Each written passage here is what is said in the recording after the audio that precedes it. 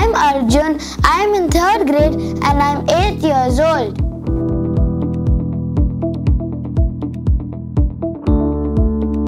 One, two, three, four, five, six, seven.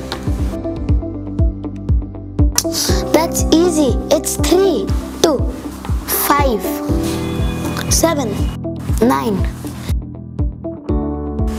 three, six, nine, eight, sixteen. Three fives are fifteen. Twenty-five. Let me try something. Ten, twenty,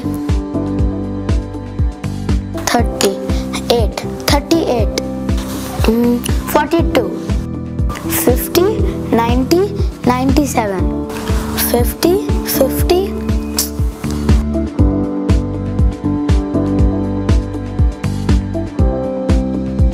109 123 314 1729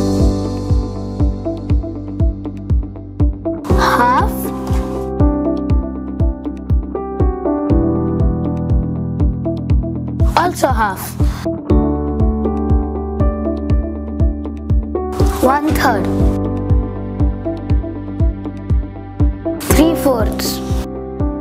Five sixths. Two thirds. Two and five sixths.